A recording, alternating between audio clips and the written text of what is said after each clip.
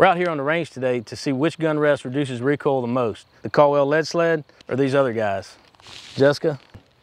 the lead sled reduces 95% of felt recoil. You guys okay?